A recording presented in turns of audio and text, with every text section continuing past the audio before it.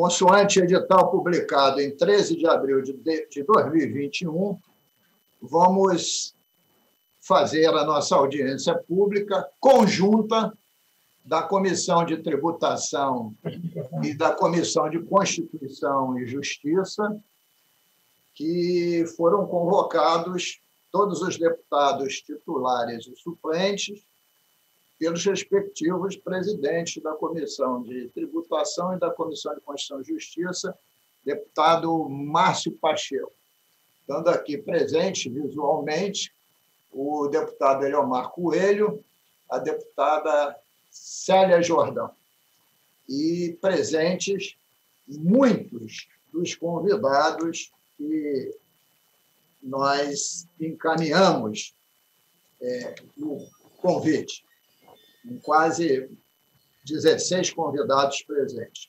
E o tema é para debater o PL 1596 de 19, de minha autoria, e o projeto de lei 3941 de 21, de autoria do Poder Executivo, que institui o regime tributário especial para as operações de saída interna de querosene de aviação, que é AV, promovidas por distribuidora de combustível, com destino ao consumo de empresas de transporte aéreo de carga ou de pessoas.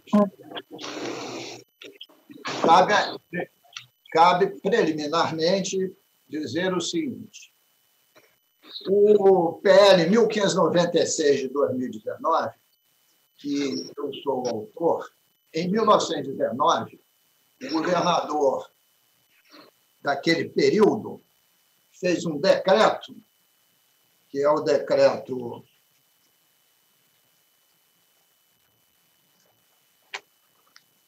aqui é o número 46.827, de 12 de novembro de 19, definindo essa alíquota de 7 pontos percentuais por QAV e uma série de regras que ponderava este benefício com o volume de passageiros transportados.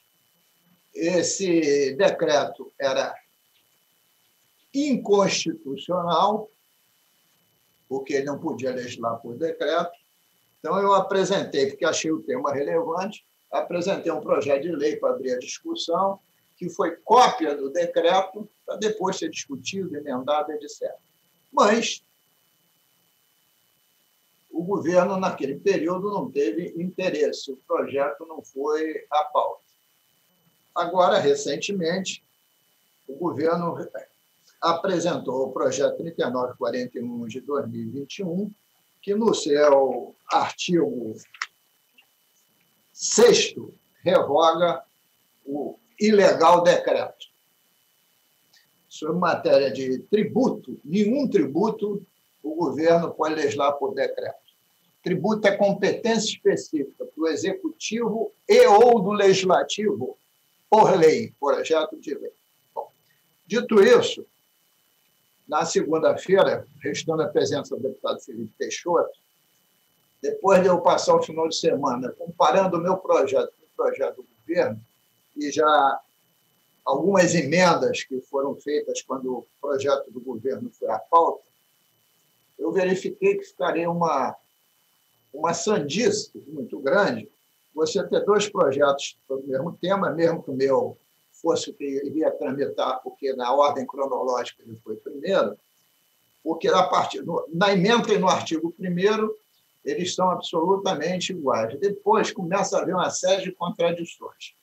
Então, eu decidi, como autor do projeto, comuniquei ao líder do governo, deputado Márcio Pacheco, e retirei o meu projeto definitivamente. Então, quero dizer com isso que hoje só tem um projeto em pauta, deputado e dublê de secretário Gustavo Tutu, que é o projeto do, do governo.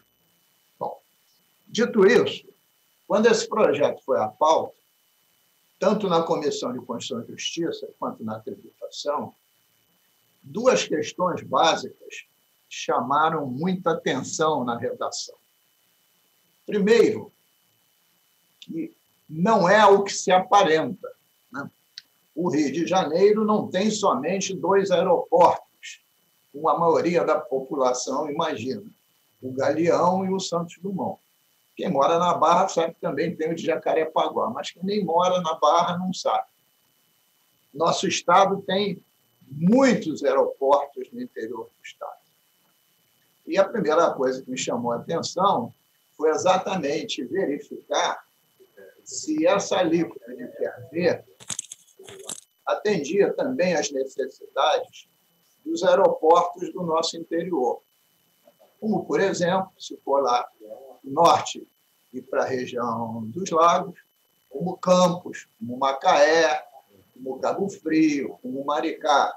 Se for lá para o sul, como Resende, Paraty e outros. Conversar imediatamente com o. Otávio Leite, por favor, tira, desliga seu microfone, sua voz está vazando. Obrigado. Perdão. Mas vamos continuar. Então, a primeira questão, eu estou falando para o pessoal do governo que preparou o projeto, foi essa. E associado também que o Santos Dumont e o Galeão, eles recebem o combustível por dutos. Os outros aeroportos recebem por caminhão-tanque, o que pode haver diferença de preços nos transportes. Transporte por duto é mais barato do que transporte por caminhão. E a terceira questão, evidentemente, para variar, o governo federal, isso é para variar, viu, deputado Felipe? Trata o Estado do Rio de Janeiro sempre de forma discriminatoriamente. O Estado do Rio de Janeiro tem uma boa saída, é necessário que os aeroportos Internacional do Galeão e o Santos Dumont sejam aeroportos vivos, como os aeroportos do nosso interior do Estado também. Porque desenvolvimento econômico não se dá só em um município, tem que se dar no Estado como um todo. Então, parece que há uma intenção deliberada do governo federal em valorizar o aeroporto Santos Dumont para receber uma boa outorga em detrimento dos nossos outros aeroportos, principalmente do hub do Aeroporto Internacional do Galeão, né, que está situado aqui na nossa Ilha do Governador. É claro que o sucesso de um aeroporto não é só o preço do combustível. Né? O sucesso do aeroporto passa por toda uma infraestrutura de acesso ao mesmo. Infraestrutura que, cá entre nós, está devidamente abandonada, né? que é principalmente sobre os aspectos de segurança pública, de qualidade do sistema viário. Estou falando aqui do Aeroporto Internacional do Galeão, com as suas respectivas linha vermelha e linha amarela, entre outras. Então, essas são as questões. Não, você está gente... quando eu tiver que eu estou aqui. Por favor, senhor Sérgio, tira seu, senhor Sérgio, tira, desliga seu microfone. As pessoas têm que aprender a trabalhar com o Zoom. Não pode ficar ligada no Zoom com o microfone aberto e batendo papo.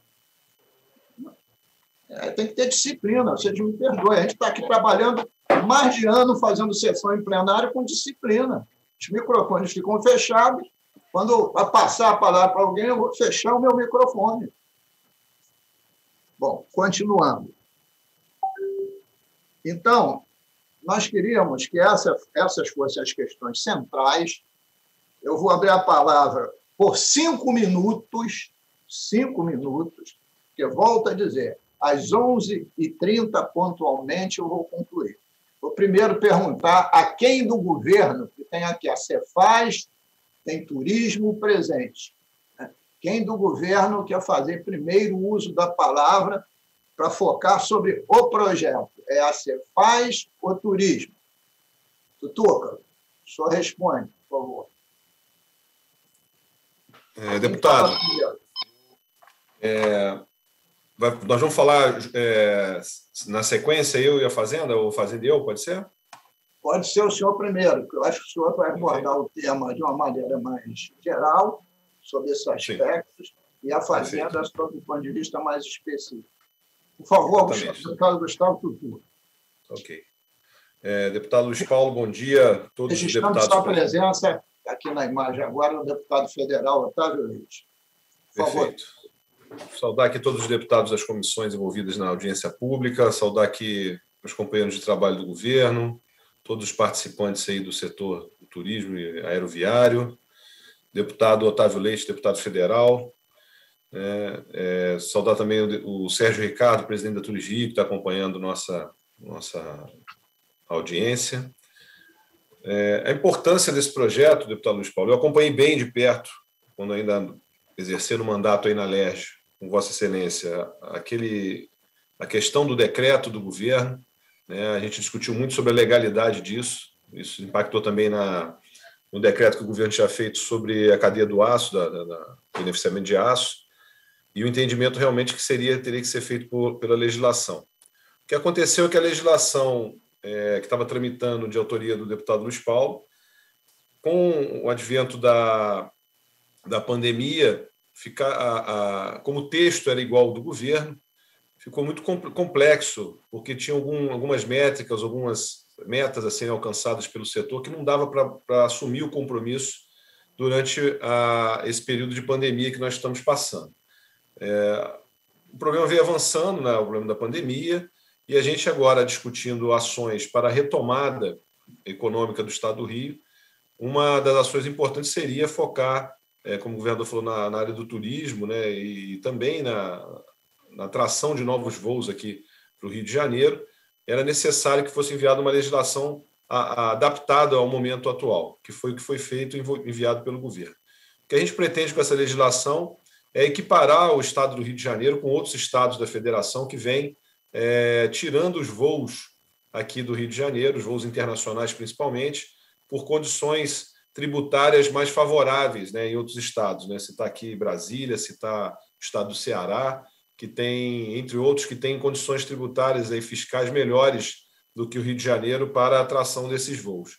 Com isso, o nosso principal hub internacional, que é o aeroporto do Galeão, foi ficando esvaziado, e a gente, com, com o esvaziamento do, do, do Galeão, que, como Vossa Excelência também citou no início, existem outros problemas a, ferem, a serem enfrentados para a recuperação do Galeão, e o governo tem feito isso. Né? A gente tem está em vias de lançar um novo programa de segurança para a linha vermelha e linha amarela, que são as principais vias de acesso ao Galeão, e também em contato com a prefeitura, a gente está trabalhando numa recuperação das vias ali de acesso, na melhoria de, do piso, na melhoria da conservação e da iluminação por aí, é, por essas vias mas em, conjunto era fundamental essa questão fiscal do incentivo ao ICMS de, do QAV.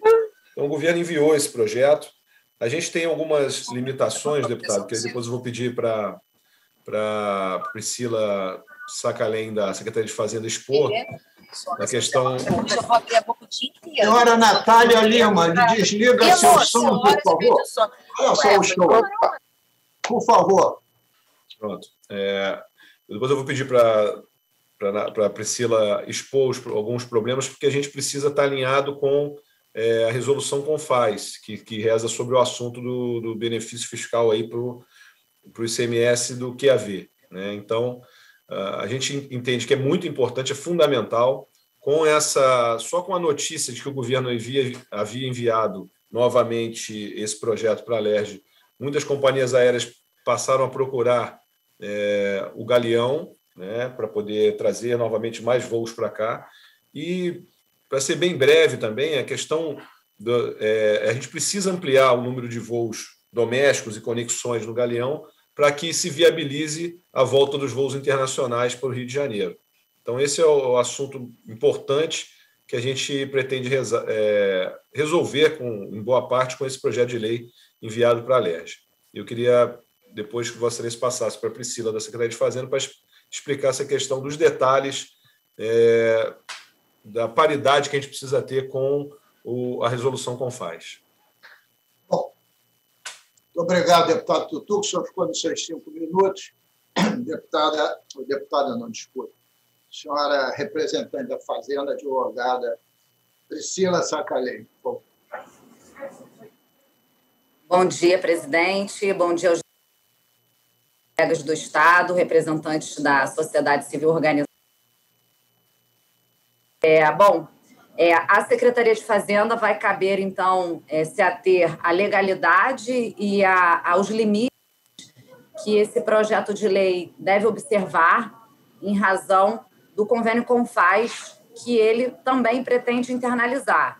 Como bem destacado pelo deputado Luiz Paulo, é, toda essa questão do querosene de aviação do benefício fiscal relacionado a ele é, nasceu no Confaz, no convênio CMS número 188 de 2017, e o governo do estado, em 2019, é, editou o decreto 46827 de 2019, mas na sequência, a Assembleia Legislativa do estado do Rio de Janeiro editou uma lei determinando que a internalização de convênios com FAS só poderia se dar através da edição de lei, votada no parlamento. Nesse contexto e também considerando a, toda a questão mercadológica levantada pelo secretário Tutuca, né, considerando também que o decreto 46827, ao internalizar o convênio 188, trouxe algumas condicionantes relacionadas à geração de assentos pelo é, aeroporto, pela unidade que utilizasse o benefício fiscal, é, nesse momento, o Poder Executivo endereçou à LERJ uma mensagem, através do projeto de lei 3941 de 2021, é, internalizando o convênio 188 também, é, limitando o ICMS a 7% e não é, é, oferecendo, neste primeiro momento, as condicionantes. E com essa análise técnica, a gente observa que a cláusula quinta ela delimita efetivamente, né, a cláusula quinta do convênio, delimita efetivamente que a alíquota tem que ser até 7% para o estado do Rio de Janeiro, lá no inciso segundo. E, por outro lado, também, é, a gente tem aqui que o ato normativo de internalização poderia estabelecer as condicionantes, os requisitos. Então, no entender da Secretaria de Fazenda, esse projeto de lei observa, né? Vamos lembrar aqui que a gente não Ô, Milena, por favor, fecha o seu som. Está vazando. A Priscila quer falar, não está conseguindo. Obrigado. Priscila, por favor. Então, vamos lembrar aqui, né, quando a gente está falando de políticas de benefício fiscal no Estado, nas últimas audiências públicas e atos normativos, a gente falou do Instituto da Cola, que tem todo um regramento específico da Lei Complementar 160 e do Convênio 190 é, de 2019. Nesse caso específico aqui, a gente está falando de internalização de convênio, então a gente não precisa observar as regras de é, colado de outro estado, a gente está internalizando um convênio com o FAS, do qual o Rio de Janeiro é signatário, e a gente tem que só é, observar os limites da borda do convênio. E, nesse caso aqui, o projeto de lei endereçado atendeu aos objetivos é, é normativos né, e aos requisitos da Lei Complementar 24 de 75, que é, rege esse assunto. Para além, deputados é, e presidente, o que a gente tem aqui é a decisão do parlamento de como, né, a gente tem algumas emendas que já foram apresentadas, e aí fica mesmo a, a critério do parlamento a decisão das emendas, lembrando sempre que tem que estar adstrito ao que o convênio 188 de 2017 prevê. Eram essas as considerações da Secretaria de Fazenda, deputado presidente. Doutora Priscila, eu queria que a senhora, na minha apresentação inicial, abordasse a questão se essa alíquota de sete pontos percentuais ela valerá para todos os aeroportos do nosso estado, independente de onde ele esteja situado. Bom, deputado, é, com relação a esse questionamento, o que eu entendi aqui, né, nós entendemos a partir da mensagem encaminhada pelo o governador do estado, é que todos os aeroportos do estado que se trans, é, é sejam considerados centro internacional de conexões de voo, ou seja, hubs então, nesse caso aqui, a gente está falando de aeroportos internacionais dentro do estado do Rio de Janeiro, não havendo limitação para ele ser na capital ou no interior. Apenas esse critério é que deveria ser considerado, um hub. eu vou, Em cima da sua afirmação, na discussão, eu vou levantar esse tema de novo. Obrigado, doutora. A senhora cumpriu os seus cinco minutos. Vamos agora o deputado Otávio Leite, que já foi estudioso do assunto no Parlamento Fluminense e é na Câmara Federal, para também fazer o uso dos seus cinco minutos. Obrigado pela Muito presença. obrigado. Registrando a chegada aqui do deputado Márcio Pacheco. Muito obrigado, meu amigo deputado Luiz Paulo, a todos os deputados presentes, Pacheco, Tutuca, eh, deputada eh, Célia Jordão, Leomar Coelho, Felipe Peixoto, é. todos que compõem, uma satisfação toda especial poder novamente voltar a essa casa, mesmo que seja por meios virtuais. Né?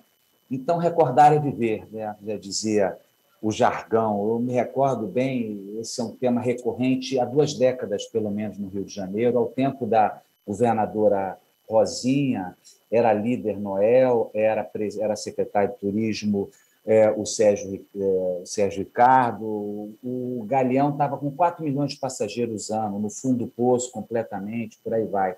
E nós conseguimos aprovar nessa casa um projeto de reestruturação de alguns setores, dentre os quais o aéreo, e permitia-se é, também que se tivesse uma modulação de alíquota para especificamente o Tom Jobim, podendo ser praticado até 4%. Né? Então, foi algo que permitiu um soerguimento, àquela altura, as companhias todas indo para São Paulo, porque o nosso patamar estava em 24%, São Paulo praticando 18% de alíquota, mas foi um passo muito importante. Eu estou falando de algo de 18 anos atrás, 19 anos atrás. E a história foi rodando e chegamos a esse status aí, que em 2017 adveio o convênio com FAS, o Rio de Janeiro ficou assistindo, é inacreditável, o Rio de Janeiro ficou assistindo e se instituíram uma série de regras que permitiram, por exemplo, o Ceará praticar alíquota zero, né? É, enfim, e limitando Brasília diminuir bastante o seu querosene. Sei que em 2019, quando eu assumo a Secretaria de Turismo, nós pegamos esse touro na unha, junto com o secretário Luiz Cláudio, e fomos atrás do prejuízo. Então, o primeiro passo seria ultrapassar o drama do Confaz. Era preciso que todos anuíssem uma nova formatação das possibilidades de prática de alíquotas mais reduzidas. Né? E foram por quatro vezes o Rio de Janeiro foi obstruído. Quatro vezes. Alguém chegava, pedia vistas, etc. Eu me lembro que, a certa altura, eu falei para o secretário Luiz Cláudio, ou radicaliza ou a gente não vai alcançar. Eis que, em julho, conseguimos, portanto, a reformatação do, que é, do, do convênio 188, que nos permitiu, depois, depois de N tratativas com todo o setor, etc., a implantação do decreto, né, que aqui já foi citado pela a douta advogada da Cefaz. É, esse decreto, é, 46827, alguma coisa assim, era um decreto milimetricamente pensado. Né? Eu penso até que o projeto que está aí é muito amparado nos fundamentos que o projeto propunha, que era dentro de um hub, hub que, inclusive, é o, a terminologia aplicada no convênio. Então, há um lastro superior, inclusive, que dá um respaldo especial para que essa lei ela possa tipificar que a prática da alíquota a reduzir ela se dê em ambientes de circulação econômica na venda do combustível, aonde se opera o hub internacional. Então isso é muito importante. Daí, em paralelo, é que nós outros estamos muito preocupados com essa ideia de fazer também do Santos Dumont um, um, um polo internacional. Aí você já tinha uma isonomia direta no processo, e aí 7% aqui, 7% lá, não muda nada. Essa que é a verdade, não muda nada. Eu apenas queria ensejar o seguinte, é, nessas palavras. Acho que é um somatório geral do deputado Luiz Paulo. Todos devem, de alguma maneira, convergir para isso. Né? A esfera nacional, a bancada do Rio de Janeiro, os atores econômicos e por aí vai. Essa lei ela vai consolidar, era um decreto, né? agora é uma lei, ela vai dar uma estruturação melhor para a praxis de um procedimento tributário estimulador a vinda de novos voos, que é o que interessa, ao fim e ao cabo é o que interessa, são novos voos para o Rio de Janeiro. Acho, acho que deveria ser estudado uma possibilidade é, de modulação de alíquota. para, ao sabor de mercado, você poder fazer é, algo que evite a canibalização do espaço aéreo brasileiro. Essa competição irracional entre Santos Dumont e, e Galeão é uma coisa que vai levar a gente, enfim, para a manter uma, um fluxo aéreo internacional só com a nossa demanda. Né? É um voo para Lisboa, um voo para Paris, um para Miami, porque Nova York nem sonhar, uns três para Buenos Aires, acabou-se praticamente um para Santiago e vai embora. Sem hub, não vai. Então, esse movimento que a Assembleia está propondo é, é muito importante, essa audiência pública, para fortalecer todos esses elos, esses laços, pensando num bem comum, que é o interesse do Rio de Janeiro em trazer mais voos e cumprir a sua vocação histórica de ser porta de entrada do turismo brasileiro, e sem lembrar da carga, né? que a carga é importantíssima. E, enfim, a logística do Rio de Janeiro se presta muito a isso no Galeão. Então, não sei se ultrapassei meu tempo. Cinco minutos. Deputado, é, não tão dei uma de deputado de Estado, que a turma sempre, porque em Brasília a gente fala um minuto, meu amigo, um minuto, deixam falar um minuto, às vezes três, então é uma luta.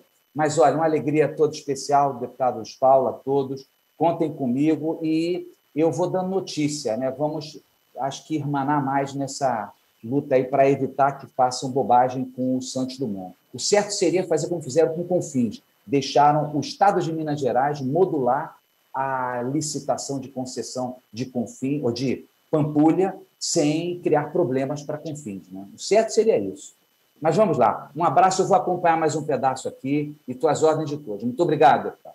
Obrigado, deputado Otávio Leite, pelos seus esclarecimentos. Ouvimos três pessoas, de alguma forma, ligadas ao governo. Vou ouvir agora três pessoas ligadas à iniciativa privada. Primeiro, o senhor Alexandre Monteiro, representante do Rio Galeão. Bom dia, muito obrigado, uh, deputado. Eu vou uh, agradecer aqui a, enfim, ao governo pela, pelo projeto. A Gabriela enfim, todas as palavras. a reunião? Olha só, tem alguém com o microfone aberto. Feche o microfone. Ouvimos aqui, a Gabriela está na reunião, isso não é para ser ouvido. Vamos aprender a trabalhar no Zoom, é com o microfone fechado. Fechado. Por favor, doutor Alexandre Monteiro. Obrigado. É, enfim, agradecer a chance aqui de, de enfim, fazer um depoimento.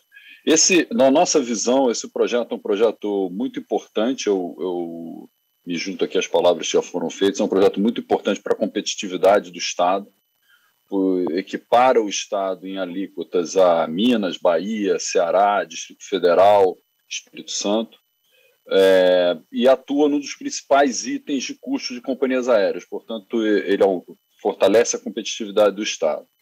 Eu acho que, como já foi mencionado aqui, já, já temos visto movimentos de algumas companhias aéreas em função desse, desse projeto. E também é, queria deixar claro aqui que nós, a concessionária, já temos há, há quase um ano apresentado às companhias aéreas um programa bastante robusto de incentivos, onde sobre é, custos de pouso, permanência, inclusive os escritórios é, no, no aeroporto. Acho que é a nossa contribuição para trazer o fortalecimento da conectividade do Rio de Janeiro, que vai, em última análise, na saída é, da crise do Covid, trazer o Rio de Janeiro de volta a, ao mapa de voos internacionais é, e etc. Então, e esses voos internacionais, como foi citado pelo, pelo deputado Otávio Leite, é, eles têm um impacto muito importante não só na cadeia turística, né, de hotelaria, restaurantes, etc., uma cadeia que, que impacta da ordem de 160 mil empregos no nosso estado, como também no, na cadeia de cargas, né, na logística de cargas. É, acho que às vezes não, não é claro para todos, mas o, o, pelo, o aeroporto internacional hoje ele é responsável, ou melhor, pré-crise, é, ele era responsável por 25% do valor importado no Rio de Janeiro, de, cargas importadas no Rio de Janeiro. Isso aí é impacto em óleo e gás, farmacêutico, o centro, o centro é, aeronáutico que nós temos no estado do Rio, com importantes é, oficinas como a GSELMA em Petrópolis. É, então, enfim, Eu acho que esse, esse, esse projeto é importante e nós, como, como concessionária, estamos dando a nossa contribuição, uh, modestamente, na nossa função, de é, também trazer os incentivos para as companhias aéreas que é, estão é, operando e que podem vir a operar aqui no, no Rio de Janeiro, no, no aeroporto Tom Jobim. Então, era, eu acho que eram essas colocações que eu queria fazer e, enfim, estou à disposição para qualquer esclarecimento adicional, se for necessário. Obrigado, doutor Alexandre Monteiro. Senhor ficou no seu tempo. Vamos ouvir agora o doutor Sérgio Kennedy Soares Freitas, superintendente do aeroporto do Rio de Janeiro. Presidente, deputado Luiz Paulo, através do qual eu saúdo todos os membros presentes da comissão. E a Infraero, neste quesito, ela se abstém até a sugerir, recomendar que haja, seja ouvido também a Associação das Empresas Aéreas, os operadores aéreos, que é uma parte extremamente... O presidente dos trabalhos sabe conduzir, o doutor Murilo Junqueira irá falar. Você pode deixar que nós estamos no controle da nossa, da nossa audiência pública. Obrigado. Desculpe aí a antecipação dos fatos.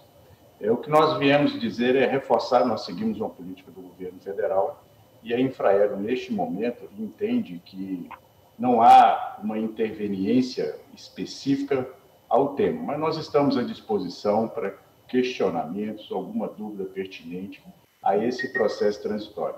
E só aproveitando a deixa, é, o aeroporto de Santos Dumont, conforme o senhor relatou, ele não é abastecido por queroduto. No estado do Rio é somente o aeroporto do Galeão. Então, todo abastecimento aqui é feito sobre rodas através do caminhão. Só fazendo esse adendo. E eu passo a palavra a quem pertinente for. Obrigado. Eu agradeço, doutor Kendi, pela sua assertiva esse esclarecimento sobre o abastecimento do aeroporto é, Santos Dumont. Então, Ouvimos agora já dois da iniciativa privada. Vou ouvir aqui o terceiro. Ouvir agora o doutor Francisco José Robertson Pinto, membro do Conselho de Administração da, da operadora do Aeroporto Internacional de Cabo Frio.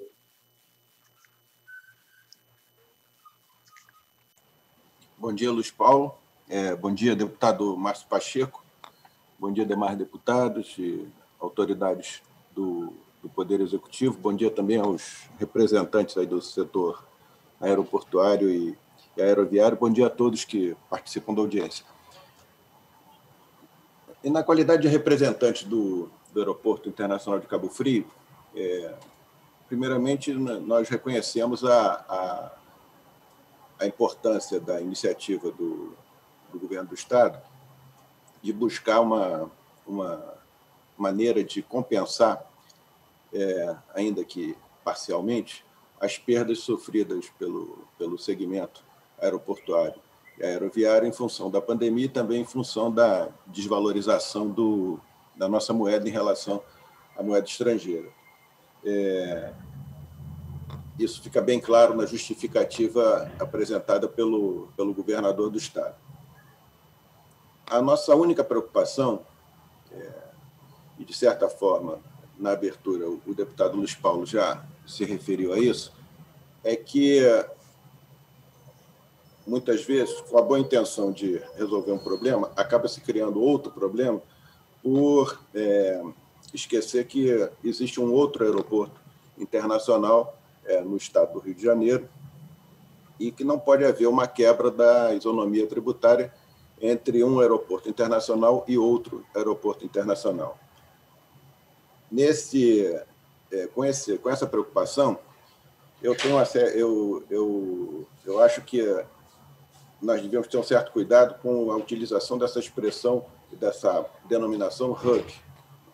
É, o movimento do, do aeroporto de Cabo Frio, talvez, na interpretação de um é, técnico da, da Fazenda, ele não seja um hub.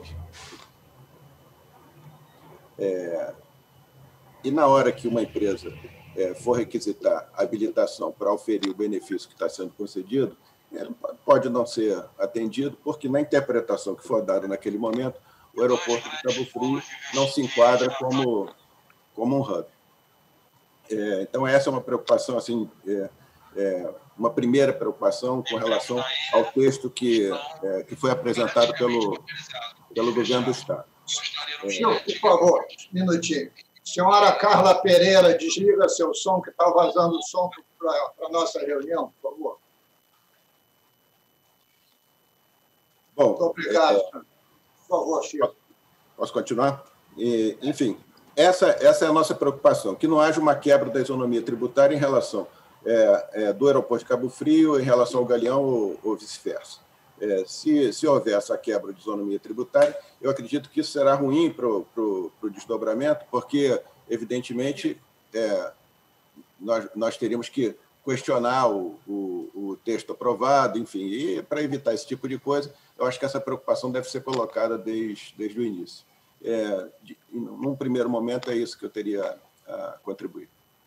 Obrigado, doutor Francisco Pinto. Queria agora ouvir três representantes novamente do governo, a começar pela Procuradoria-Geral do Estado. Quem vai falar? Não sei se é a doutora Cláudia ou o doutor Marcos Bueno. Por favor. É a doutora Cláudia ou o doutor Marcos Bueno que vão falar primeiro? Desculpe, desculpe, desculpe, senhor deputado, é que eu estava com problema aqui de tirar o, o mudo. Eu abri a palavra à Procuradoria-Geral da. Sim, sim, sim. Ah, e, e bom dia, serei, serei eu que vou usar o uso da palavra, fazer então, uso da palavra. É, bom dia a todos, bom dia, senhor deputado, bom dia, representante da sociedade civil e colegas de governo. É, a minha intervenção será breve, é, com relação à Procuradoria-Geral do Estado, só me cabe aqui fazer é, ponderações sobre os aspectos jurídicos da proposição. E, nesse caso, eu quero levantar é, dois aspectos. Né? Como já é, informado pela Priscila, o projeto de lei, para seja é, válido, ele tem que ater ao que está no convênio 188-2017, e que é exatamente a limitação da carga tributária a 7%. As demais condições são estabelecidas na forma do convênio pela própria é, entidade federada, no caso do Estado do Rio de Janeiro. E um outro aspecto que não foi levantado e que me preocupa é a questão também do estudo de impacto orçamentário, né, que eu não, não pude, não tive acesso, não, não localizei é, no site da LERJ, então não sei se o projeto de lei se veio acompanhar desse, desse estudo, mas no entender da Procuradoria-Geral do Estado, isso até para evitar problemas futuros com os órgãos de controle, é, se tratando de um benefício fiscal e que, evidentemente, haverá renúncia de é, receitas tributárias, né, representando um gasto tributário indireto, é necessário que se observe o artigo 14 da Lei de Responsabilidade Fiscal e, atualmente, né, com o status constitucional, o artigo 113 do ADCT da Constituição Federal. Então, chamo a atenção de Vossas Excelências que esse aspecto, no entender da Procuradoria-Geral do Estado, é um aspecto relevante, que não pode ser desconsiderado, é, apesar da relevância da política pública, é um requisito formal que não pode ser é, desconsiderado. Então, a Procuradoria-Geral do Estado só vem alertar sobre esse ponto. E, no mais, é, se trata de política pública do governo, né? evidentemente será debatido com Vossas Excelências qual o melhor modelo, desde que observados os limites estabelecidos em convênio. Doutora, São essas as minhas intervenções. Doutora, doutora por favor, Sim. dê uma palavra sobre a questão que eu levantei na inicial, e agora o senhor Francisco Pinto também o fez, sobre a questão do hub e a isonomia tributária. Sim. É, um benefício fiscal ele é sempre discriminatório. Ele, por si só, é discriminatório. Se houver uma política de governo, não existe... É, o benefício fiscal, ele em si, ele não trata de isonomia. Ele é sempre discriminatório. E se houvesse uma questão, você teria que verificar é, se fosse possível aplicar a isonomia, né, é, teria que verificar se aqueles contribuintes atendem a todos os requisitos vinculados à política pública do governo. Qual é a política pública do governo estabelecer esse benefício fiscal? É, é atender, tornar mais barata a querosene de aviação para todas as empresas é, aéreas ou para as empresas aéreas que fazem hub, para, de uma certa forma, estimular é, o uso do aeroporto do Estado, os aeroportos que, que fazem hub no Estado. Então, quer dizer, é, essa questão da isonomia ela não é uma questão muito assim perceptível em se tratando de benefício fiscal, porque o benefício fiscal por si só é uma atitude discriminatória e é por isso, por ela sair do sistema tributário de referência, que é necessário você fazer o estudo de impacto. É... Além disso, senhor deputado, eu não poderia dizer é, até porque essa questão não, não foi fácil, não foi objeto de parecer da PGS, certamente a PGS só vai se pronunciar formalmente sei quando esse projeto de lei for aprovado e encaminhado à sanção do governador, mas, assim, numa análise perfunctória, eu entendo que essa questão de isonomia ela não é uma, uma questão que, que deva ser levantada no âmbito de, de um benefício fiscal e um benefício fiscal vinculado a uma política pública. Com... Tá entendido, doutora. Eu queria levantar uma outra questão com a senhora. E estou só interrompendo a senhora, porque a senhora é da Procuradoria. Eu não gosto de anglicismo. E desconheço existir no nosso Brasil, como existe na área de petróleo e gás, um dicionário específico de petróleo e gás, tá? que todo mundo tenha os mesmos conceitos. O que quer dizer hub na língua portuguesa? Aonde está essa definição? Para que todos entendam da mesma forma, doutora Cláudia. É uma definição da prática, né? Porque todo mundo utiliza. É, na verdade, todo mundo já é uma coisa natural, às vezes, você usar uma, uma língua estrangeira para definir uma, uma atividade, né? uma conduta. No caso, são as empresas que utilizam um, um um aeroporto para fazer a conexão com seus outros voos, né, de uma forma é, generalizada e reiterada, né, como acontece atualmente no Brasil, o aeroporto, o estado que tem mais hub seria o estado de São Paulo, até por uma questão de infraestrutura e tal. É, sim, nós sabemos, mas acho que quando você usa uma terminologia dessa, o próprio texto legal deveria explicitar, para que não caia para dúvidas futuras.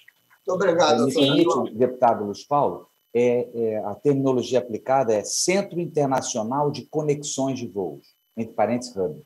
Centro Internacional de Conexão de. Voos. É, eu acho tá, que é, deixa eu continuar. importante deixar... Tá bom, tá, tá, tá, entendido aqui, Centro Internacional. Tá, tá anotado. Bom, deixa aqui continuar vou solicitar o senhor Delmo Pinho que faça uso da palavra. Cinco minutos, Delmo, já que você gosta de falar. Ah, boa tarde. Queria fazer referência ao plano histórico. É, em 2003, o aeroporto Santos Dumont, pela primeira vez na história, teve 200 ou 300 mil passageiros por ano a mais do que o Galeão uma situação impensável. Né?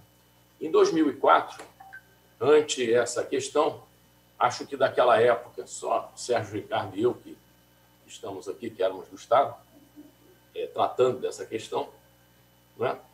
é, tivemos uma situação interessante com o Ministério da Aeronáutica e com o DAC, que era o órgão é, regulador.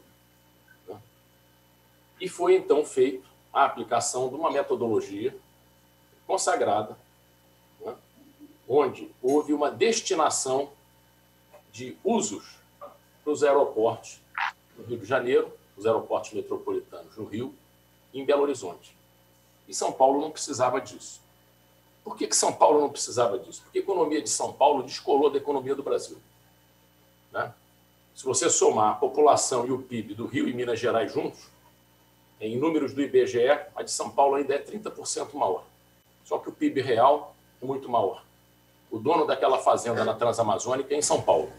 E ele decide dali onde é que o dinheiro vai para um lado e para o outro. Então, o DAC é, implementou uma portaria definindo esses usos. E funcionava muito bem. Funcionou muito bem até 2009, quando a ANAC, é, num entendimento equivocado da sua lei de criação, fez uma campanha pela abertura desses aeroportos.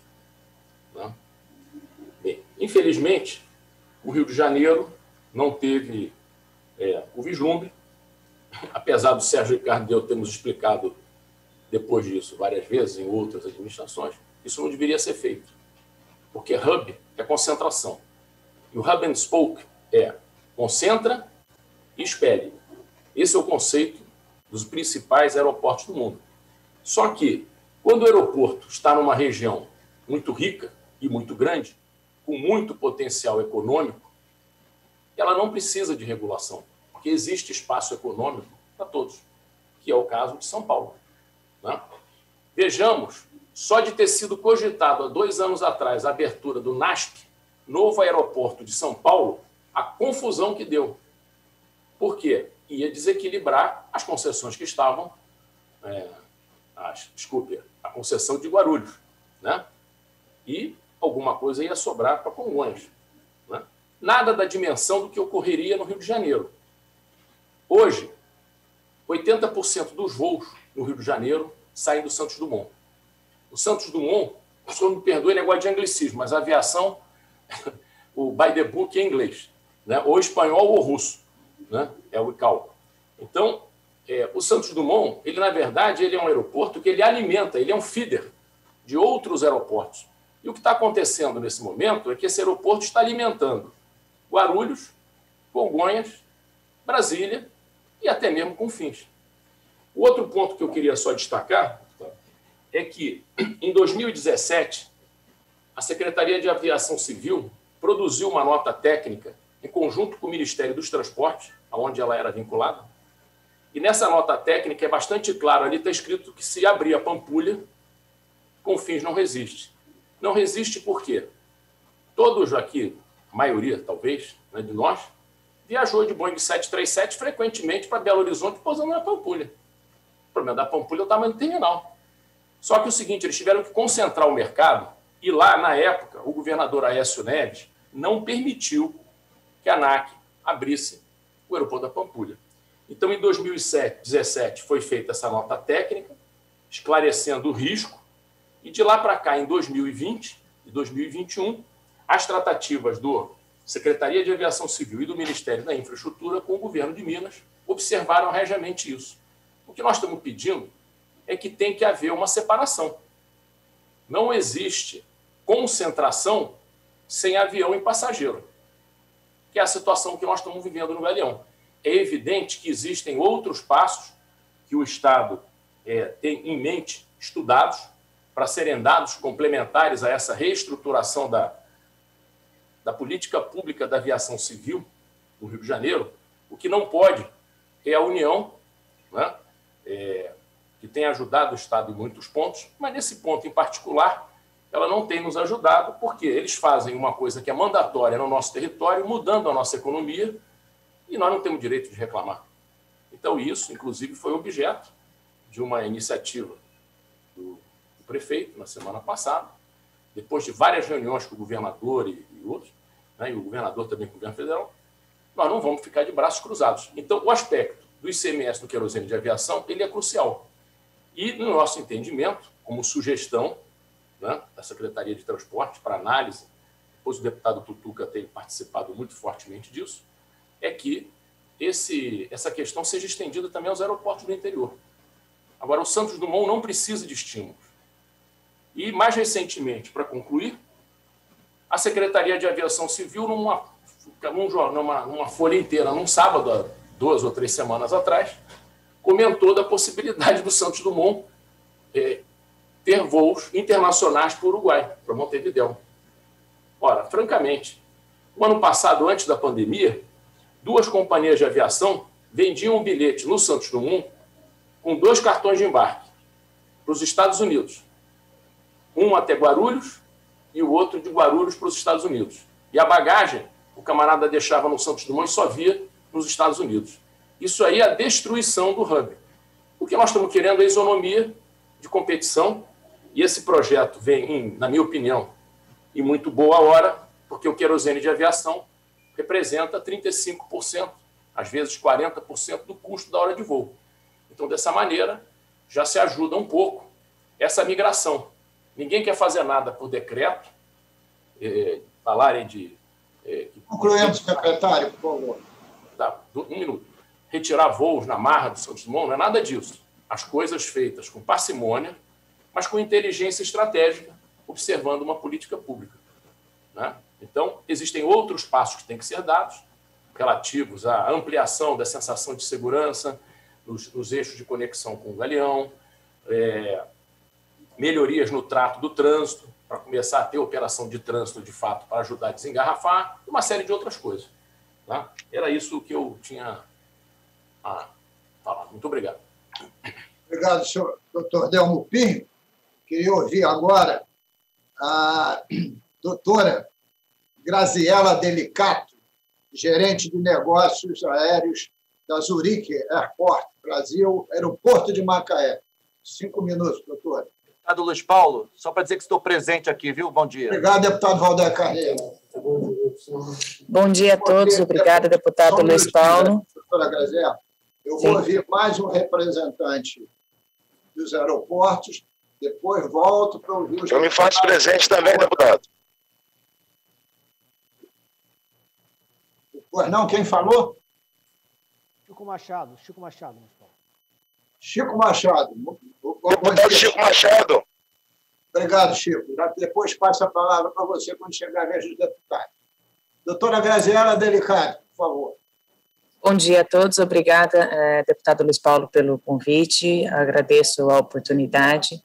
Eu gostaria, na verdade, de trazer alguns dados a respeito do aeroporto de Macaé e ressaltar o fato que o senhor disse no início da fala, para nós garantirmos que essa, essa, essa PL também proteja ou também é, inclua os aeroportos regionais para desenvolvimento no estado do Rio. Eu tenho bem rapidinho aqui só para vocês. Ah, não está podendo compartilhar a tela. O senhor não autoriza? Não, agora, agora, eu não consigo. Que Tudo bem, não tem problema. A Zurich assumiu o aeroporto de Macaé há, há pouco tempo. Nós temos aí previsto investimentos na ordem de 160 milhões só na construção de um novo terminal, que vai começar também, é, e também na ampliação de pista e pátio, para justamente a gente acomodar ao crescimento da aviação comercial. Em 2019, no pré-pandemia, nós esperávamos fechar o 2020 com cerca de 130 mil passageiros para Macaé. Nós estávamos com a rota para São Paulo, Congonhas, a rota é, para o Galeão e, e também para o Santos Dumont. Então, o meu pedido hoje, na verdade, é que seja considerado, sim, fique muito claro dentro do, da, da, do projeto de lei que os aeroportos regionais também são é, incluídos na condição é, dos 7%. Eu entendo que no artigo 2, ele, ele diz que vale tanto o voo direto da, da operação da companhia aérea, como uma coligada ou uma empresa aérea contratada, e, e exclui o code share. Era importante também incluir, dizer que inclusive os voos code share, porque com isso você consegue doutora, que todas as. Doutora, como eu pois não, não gosto de anglicismo, eu gostaria que a senhora falasse gold share em português para que eu possa entender. É que na, no artigo 2 ele menciona code share. O code share é o voo que a empresa aérea principal, aquela que vai, que ele te diz que ela vai operar o voo, ela faz um acordo comercial onde uma outra empresa aérea tem o direito também de vender assentos daquele voo. Elas operam de forma é, de uma parceria comercial. E isso é bom, porque hoje os aeroportos regionais do estado do Rio, muitos deles não comportam as aeronaves de grande porte. Então, ele já tem uma limitação para as aeronaves menores. E as aeronaves menores, nem todas as empresas aéreas que a gente conhece, as três maiores, operam. Mas, por, por meio de um parceiro regional, de uma empresa aérea menor que tenha um ATR ou que tenha um Caravan, ela consegue fazer essa parceria e servir o aeroporto de Macaé, por exemplo. Uma, um exemplo disso é o caso da Gol, é, que não tem aeronaves pequenas, mas tem parcerias com, é, com a aviação regional. Inclusive, em Macaé, quem operava era a MAP e a Passaredo, que eram companhias aéreas que tinham acordos é, de code share, de interline, com a Gol. E a, e a Azul, que é uma grande parceira, que é uma grande empresa que tem potencial de servir o estado todo e que tem todos os tipos de aviões, de acordo com a, a sua frota. E eu gostaria de, só de registrar que é, uma forma de fazer isso seria no artigo 3, pedir que, além da, das operações nos aeroportos considerados os hubs, que atendessem pelo menos um aeroporto regional do estado do Rio um ou dois, dependendo da alíquota, de 7%, 9%. Essa é uma modalidade que alguns estados optaram. É, e, a outra, e a outra, eu queria, na verdade, pedir uma, uma, uma confirmação até do Cefaz e de quem é, escreveu realmente a, PL, não é, não é o Cefaz no caso, mas é que diz que no artigo 4, a redução da base do cálculo, é, prevista no artigo 2, que, que menciona os 7%, também é, inclui os aeroportos fluminenses que não se situem na capital do estado. Então, eu só queria entender se o artigo 4, ele é o artigo que inclui os aeroportos regionais dentro desse, desse percentual de 7%, ou não, ou te, a companhia aérea tem que fazer o voo no hub, mais o voo no interior para poder ter a alíquota. Porque eu posso ter é, companhias aéreas pequenas que tenham interesse em operar em Macaé, mas não necessariamente uma operação robusta para operar no Galeão. E isso quer dizer, se ela operar só em Macaé ou só em Campos, ela não vai ter direito a essa alíquota? Eu queria que isso ficasse realmente claro, em que momento os aeroportos regionais estão inseridos. E dizer que nós estamos investindo para fazer o crescimento da região.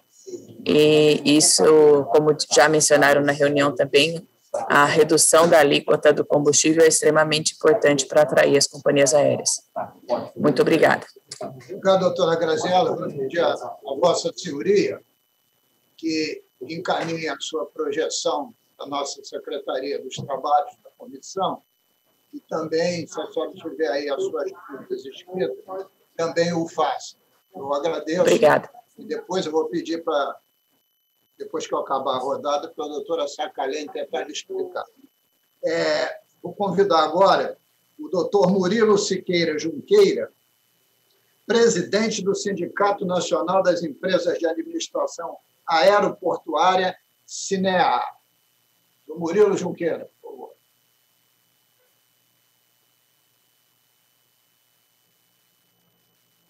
Está sem som, Murilo, por favor.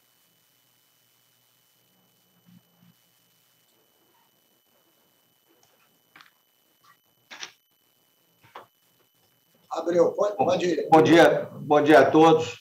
Bom dia especial ao deputado presidente aí, doutor Luiz Paulo. É, em nome dos, dos aeroportos do Estado, do, do nacionais, na realidade, a minha observação é que a gente, quando trata de um sistema aeroportuário, a gente está tratando de um sistema. A gente não está tratando isoladamente de um único aeroporto. Então, como bem disse agora a representante da Zurich, é, em Macaé, você tem conexão com o Rio de Janeiro. Quer dizer, os aeroportos do interior são alimentadores ou distribuidores, seja dos passageiros que chegam, sejam das cargas que chegam no Rio ou nos seus próprios aeroportos. Então, é, tratar isso isoladamente como um único aeroporto, você criar um incentivo fiscal exclusivo para um único aeroporto, é, ainda mais de uma coisa já existente, você não está tá estimulando a criação de um novo, você está estimulando um único aeroporto, nos parece uma coisa desequilibrada. Eu acho que o que foi usado extensamente no país todo, em vários estados, foi principalmente o estímulo fiscal no que a ver para a interiorização da aviação comercial.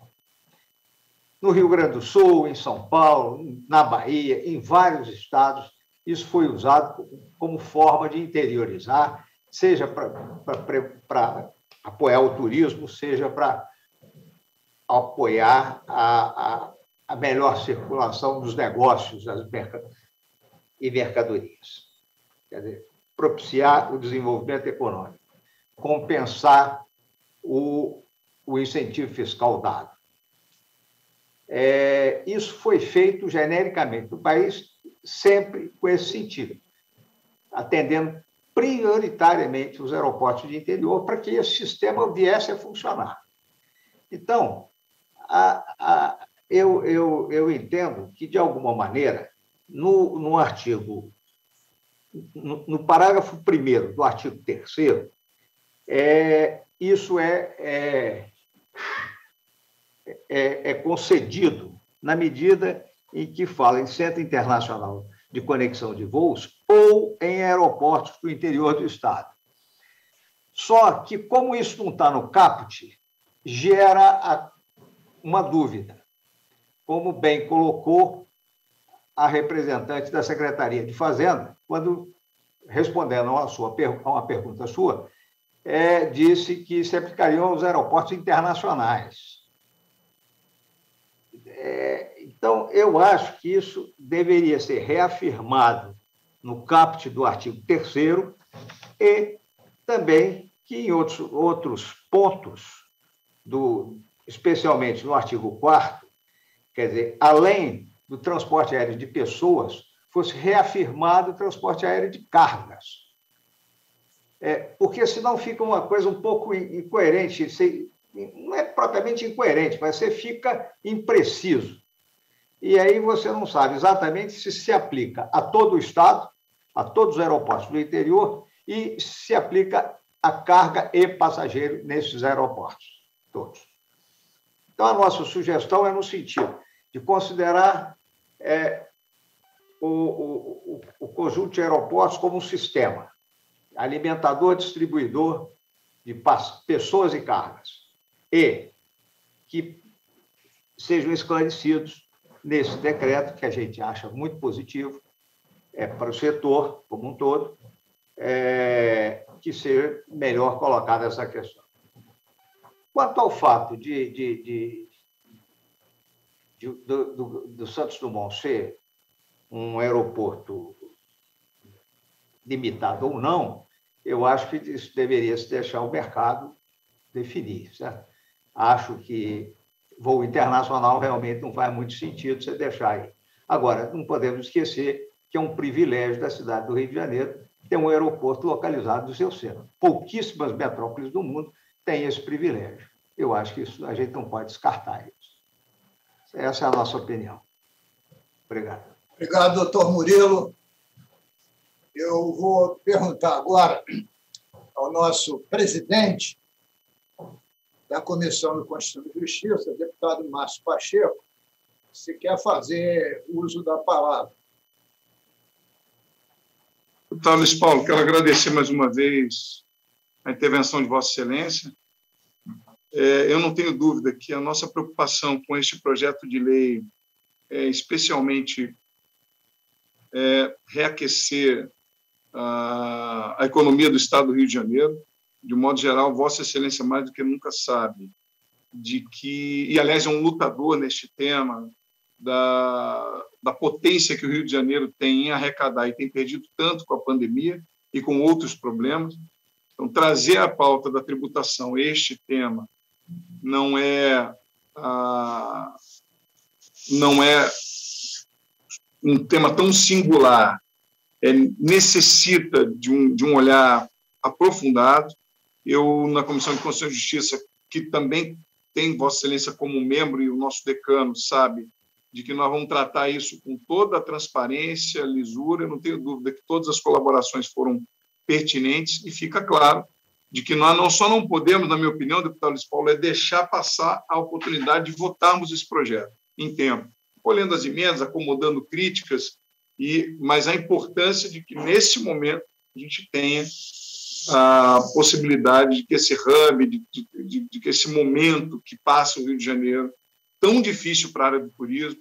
E aqui aproveito aqui para saudar o meu querido colega deputado Gustavo Tutuca, secretário de Turismo, e o ex-secretário Otávio Leite, para dizer que nós vamos nos empenhar para que esse projeto avance. É muito importante o Estado do Rio de Janeiro. Muito obrigado, deputado Márcio Pacheco. Pergunta ao deputado Eliomar Coelho se ele ainda se encontra presente, que eu não o vejo mais.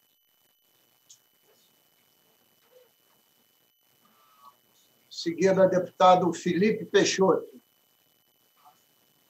Paulo, é, a todos os deputados. Senhor presidente, é o deputado Chico Machado. Depois do Felipe Peixoto é Vossa Excelência, depois é o Valdec. Pode deixar. Eu, eu, eu, só, eu só vou fazer uma colocação porque eu estou no trânsito e posso pedir, perder o sinal. Vou pedir perdão ao deputado Felipe Peixoto. Ele eu te quero, perdoa, ele te perdoa.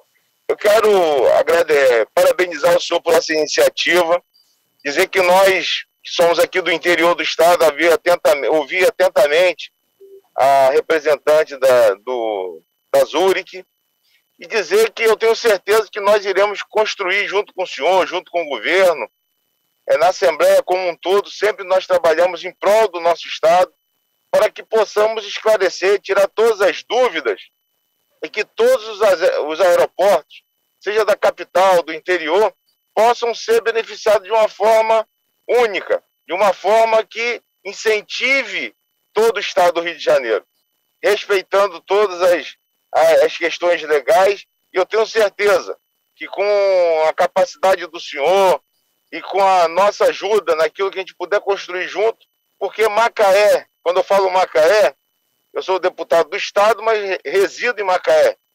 Macaé, em breve, nós teremos é, um, um, um grande salto na questão das termoelétricas, um novo momento da, da geração de energia, e vai ser muito importante o nosso aeroporto. A Zurich tem é, investido e quer investir cada vez mais no nosso aeroporto, que é um aeroporto muito é, importante para a nossa região. E eu quero parabenizar o senhor por essa iniciativa e eu tenho certeza que, em conjunto, nós iremos encontrar o melhor projeto, esclarecendo todas as dúvidas, não deixando nenhum tipo de interpretação dúbia em relação ao benefício a essas empresas. Muito obrigado, senhor. Obrigado, deputado Chico Machado. Deputado Felipe Peixoto, com as minhas escusas, devolvo a palavra a Vossa Excelência.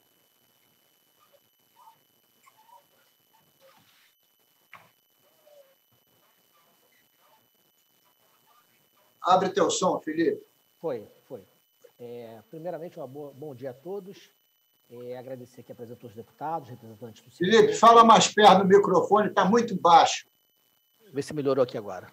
Ótimo. Tá é, primeiramente, desejar um bom dia a todos. É muito bom ver aqui a presença do governo, setores econômicos, os deputados aqui presentes. Eu gostaria de fazer algumas considerações. É, primeiramente, eu, ao ler o projeto, realmente fiquei com muitas dúvidas. É, dúvidas essas já levantadas aqui pela Graziella e também pelo Junqueira, especialmente pela falta de, de clareza com relação à questão de permitir ou não os aeroportos do interior a utilização desse benefício fiscal que está sendo colocado pelo governo.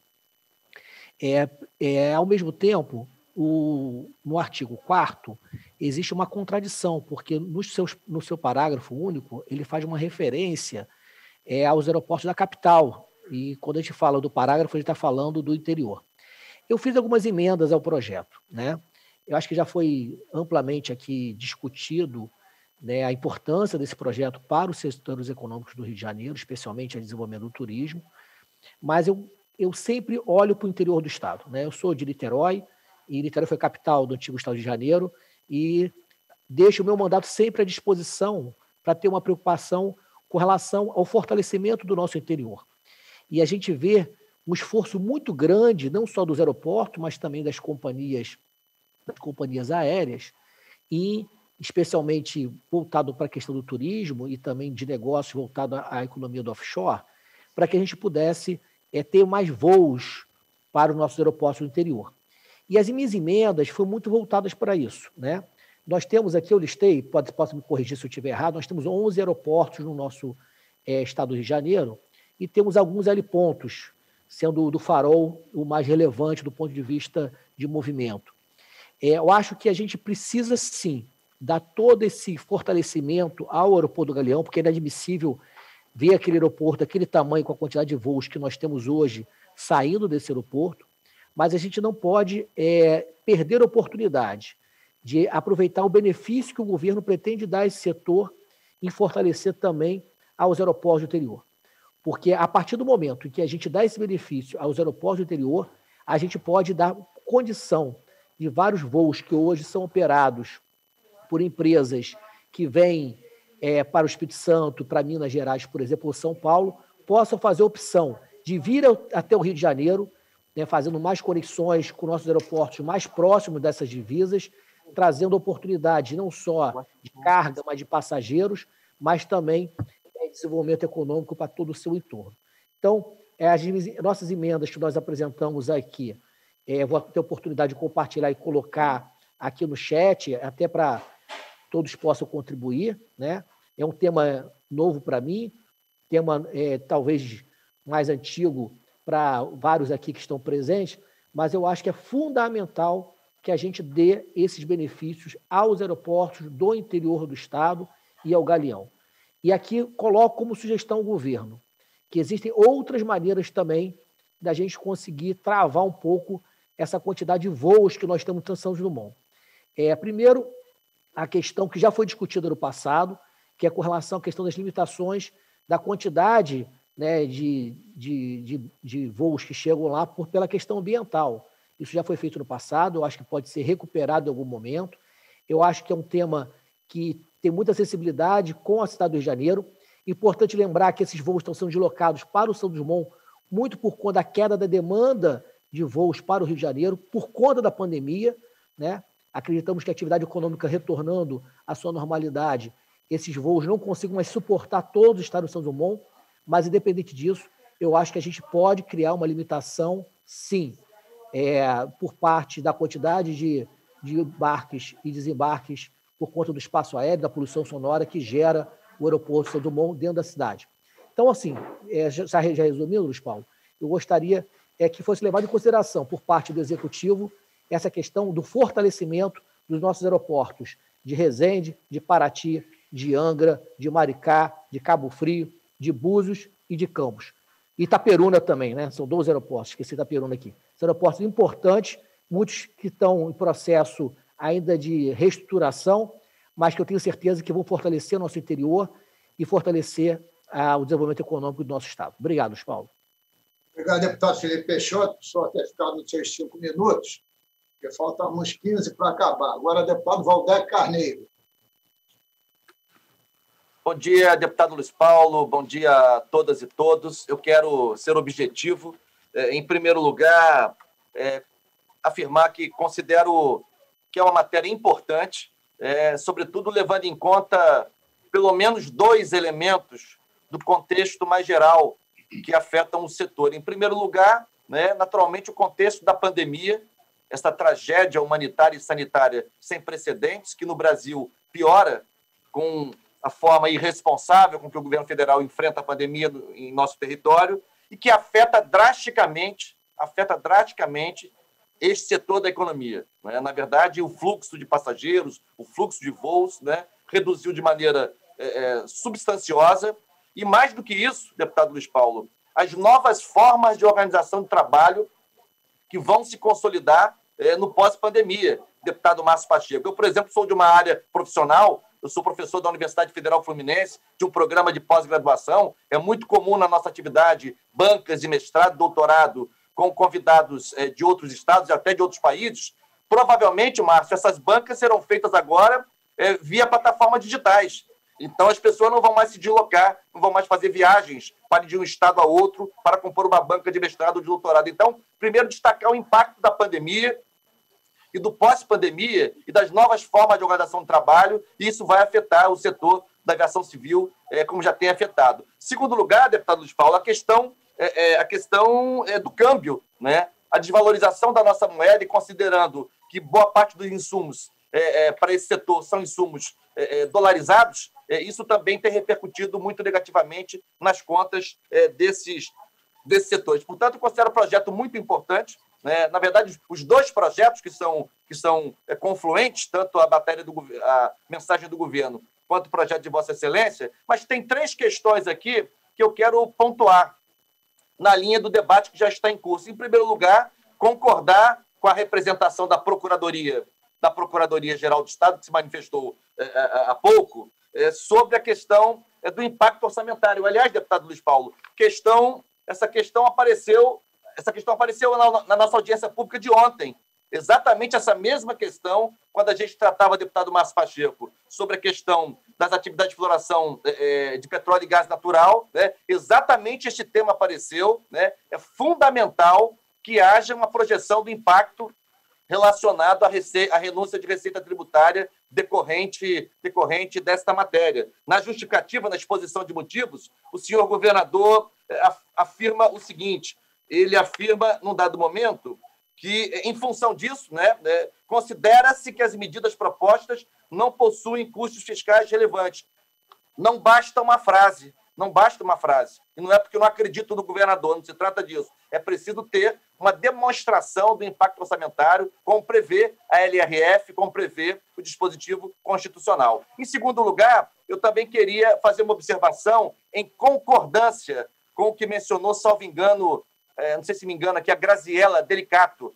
Eu, é, de fato, percebo uma contradição no projeto em relação, em relação as, chamada, as chamadas operações code share, as parcerias comerciais entre empresas aéreas de, de porte maior com empresas regionais, enfim, é, para, para fazer complementação de voos. Porque é, é no artigo 2 no artigo 2 o benefício fiscal é, é, que, que a matéria pretende assegurar não alcança essas operações code share. Eu não, sei, não vejo por que razão não alcançar. Curiosamente, no artigo 4 quando aparecem aparece a principal contrapartida das empresas, das empresas beneficiárias, que é o aumento, o aumento é, do número de assentos, no parágrafo único citado pelo deputado Felipe Peixoto, é, curiosamente, se considera né, o número de assentos, assim, o, aumento do número, de número de assentos, inclusive nas operações, nas operações cold share. Ou seja, é, é, não, não alcança cold share para conceder isenção tributária, mas contabiliza o aumento de, do número de assentos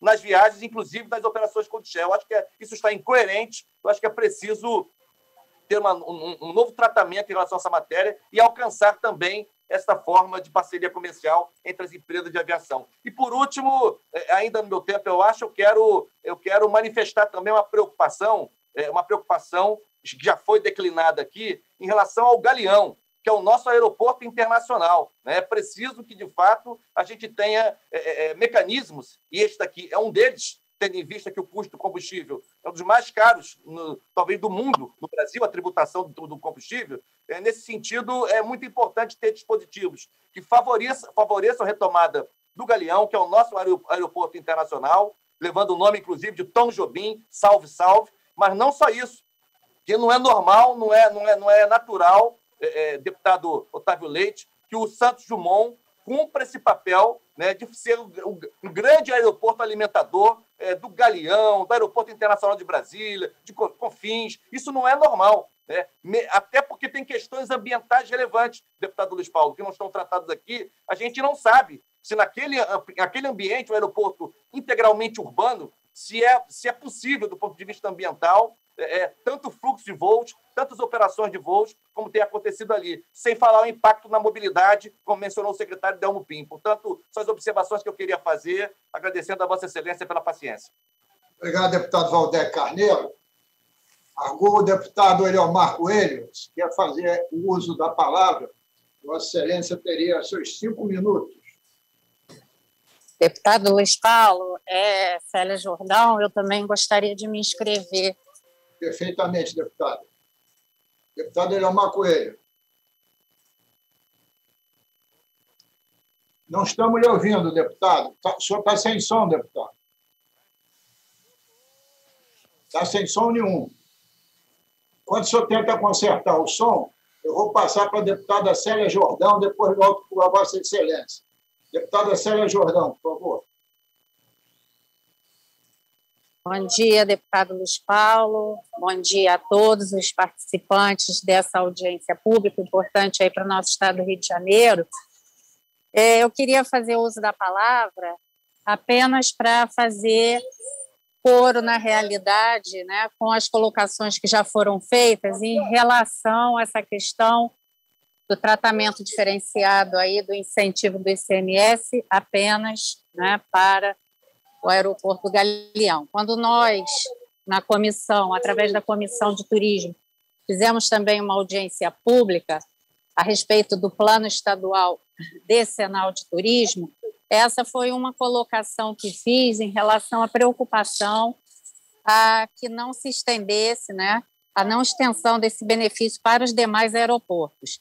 Em Angra dos Reis, por exemplo, estará sendo feito um investimento para que só de pista nós tenhamos aí 1.300 metros, aumentando a capacidade do aeroporto né, para aeronaves de médio porte, então, é importante que esse incentivo também se estenda aos aeroportos regionais, como já foi dito pela operadora lá de Macaé, como um plano de fomento à economia do nosso Estado.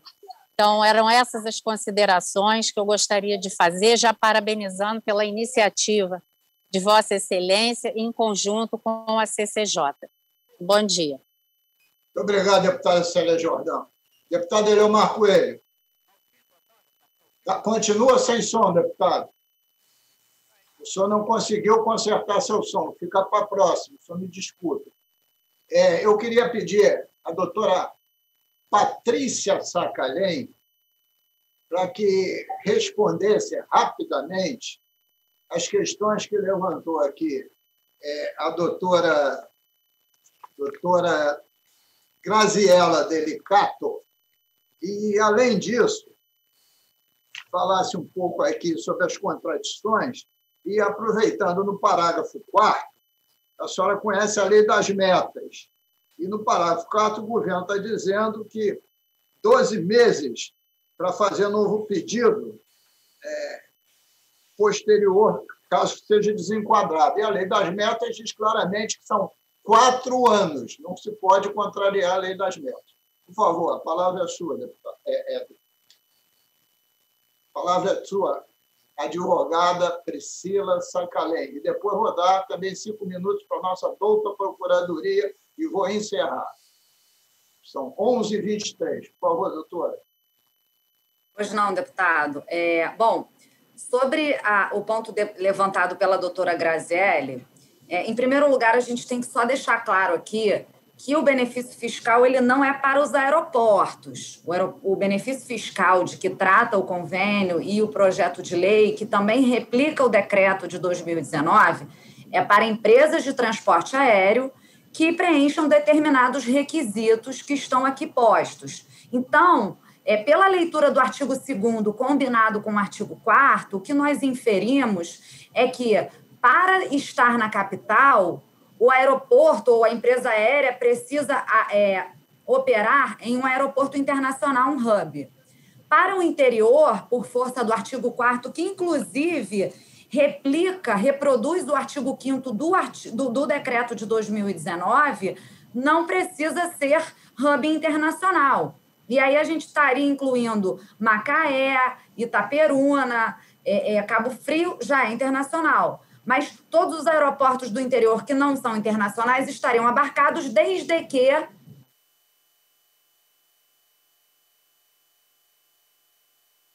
da base de cálculo abrangeria as operações das empresas que se habilitassem e que preenchessem os requisitos da, do projeto apresentado. É, para além, a gente também pode, é, né, se não ficou claro para vocês, nós estamos à disposição aqui, deputado, é, junto com esse parlamento, que tem toda a técnica legislativa possível é, e necessária para a gente esclarecer esses pontos, é, fazendo valer aí a, a, a, o desejo da, da política pública que se pretende adotar. Né? Aqui pela Secretaria de Fazenda, o que a gente pode é, salientar é que, como a, a doutora Cláudia Freze falou, é que nós precisamos observar os limites do convênio, mas a política pública é uma política de governo e do parlamento. Era isso, deputado? Ficou alguma dúvida além? Ficou só uma. Só uma não, ficaram duas.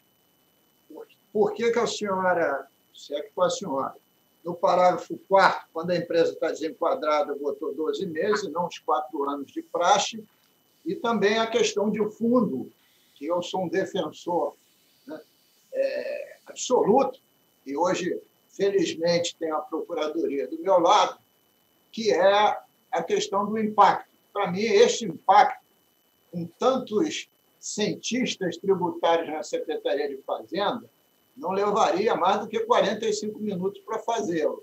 Então, queria só sobre essas duas questões, para mim voltar à Procuradoria e encerrar.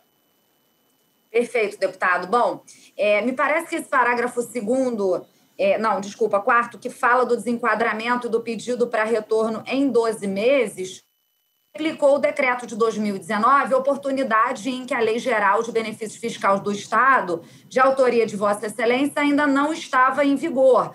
Então, é, se for desejo do parlamento é, modificar essa, esse artigo, será decisão de vocês que será observada.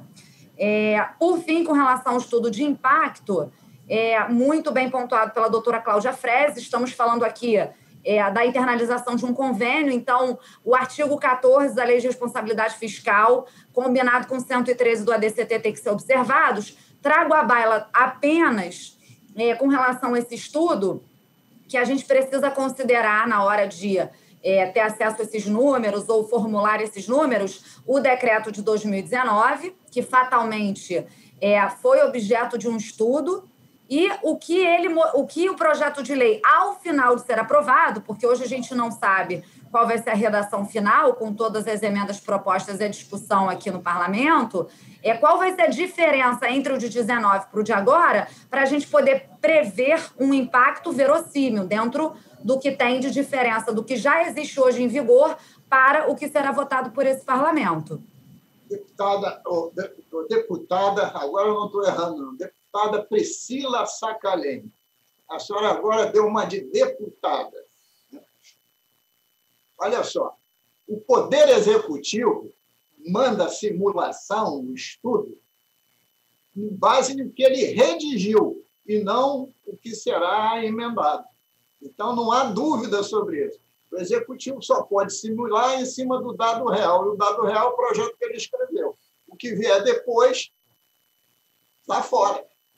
Será um ajuste, mas o estudo, e só informando a doutora Cláudia, que não chegou a estudo nenhum.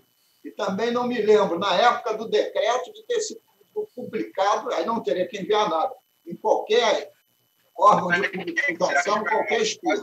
Então, queria passar a doutora Cláudia para me. Você está onde, Diogo? Eu estou chegando em Chico Machado, Machado, fecha seu som, meu amigo. O senhor está vazando o seu som. Chico Machado, fecha é. seu som. Obrigado. Doutora Cláudia Friese, por favor, para a gente encerrar. Deputada deputado Luiz Paulo Tuturca, eu queria só dois minutos antes de encerrar, depois só para... Deixa a doutora Cláudia Friese. Ok, obrigado. E dou o prazer, já que Vossa Excelência é duplê de secretário de deputado, o senhor fala por último. Por favor, doutora Cláudia Friese. É, deputado Luiz Paulo, a meu ver, tal, é, o, de, o projeto de lei é, disse uma coisa é, tensionou dizer uma coisa, mas não está bem esclarecido. Eu acho que exatamente essa audiência pública é importante é, para verificar se está de acordo com a política pública que está sendo está tentando ser implementada pelo governo. E, obviamente, uma política pública que tem que ser referendada por, por essa Casa de Leis. Então, a, a meu ver, é, Concordo com a doutora Priscila, não é um benefício para o aeroporto, é para as empresas de transporte aéreo, e, na verdade, tem que verificar se efetivamente é, ela abarca ou não o, as empresas que operam no interior.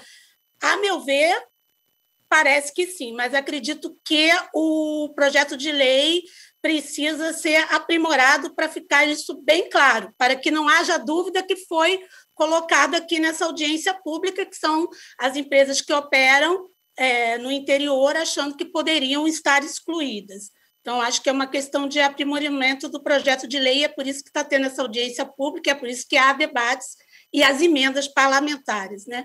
Com relação a, ao estudo de impacto, eu reafirmo o que eu já falei antes, né? Não, se não veio, tem que vir. Eu acho que não, não dá para é, relevar uma questão tão é, importante. É, havia uma outra pergunta, se eu, se eu me perdi. Não, é isso mesmo, doutora Cláudia. Eu lhe agradeço. Okay. Deputado Gustavo, desculpe, secretário Gustavo Tutuca. Tá, Luiz Paulo, só para reafirmar aqui né, questão da política pública, como foi falado aqui. A intenção do governo com essa política pública é a gente conceder o benefício para hubs internacionais da capital e aeroportos do interior. Então, quero deixar isso claro. Então, o que a nossa missão aqui, a partir de agora, até o dia da votação, né, junto com a, a CCJ, chegar a um texto, né, a, recebendo as emendas, e a gente possa chegar a um texto que contemple isso. E, em paralelo, aí a gente vai trabalhar aqui internamente no governo para que a gente apresente, antes da votação, o estudo de impacto. Eu acho que esse tem que ser o nosso compromisso e, com isso, a gente consegue avançar, que eu acho que é, essa é a linha que a gente precisa, é, pretende atingir. Né? Hubs internacionais na capital e aeroportos do interior. E, com isso, a gente chegar ao texto de consenso que contempla tudo isso. Obrigado, deputado secretário Tutuca. Eu queria agradecer a presença de todas e de todos, me desculpar com os que aqui estão presentes, como o Instituto Rio Metrópole, que eu agradeço fortemente a presença, o senhor Rafael Ferraz e tantos outros que aqui estão e não fizeram uso da palavra. Mas, infelizmente, no período pandêmico, nós temos que trabalhar dentro da nossa realidade.